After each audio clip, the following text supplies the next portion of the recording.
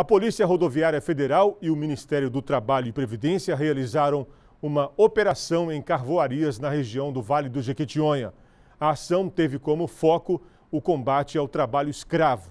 O repórter Miguel Braz, ao vivo, fala dessa operação para a gente. Boa noite, Miguel. Ei, Saulo, boa noite para você e para todos de casa que nos assistem. Exatamente. No total, seis carvoarias foram alvos da operação. Algumas propriedades rurais também foram fiscalizadas.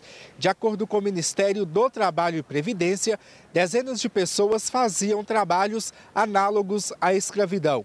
Ainda conforme o órgão, foram constatadas algumas, algumas irregularidades, como, por exemplo, alojamentos desprovidos de banheiro, falta de água potável e de equipamento de proteção individual para os trabalhadores e, claro, eles também não tinham o, não tinham o registro na carteira. Conforme o órgão, os empregadores foram identificados e se comprometeram a adequar né, a legislação trabalhista dentro dos prazos estabelecidos pelo órgão. Essas são as informações deste caso, Saulo.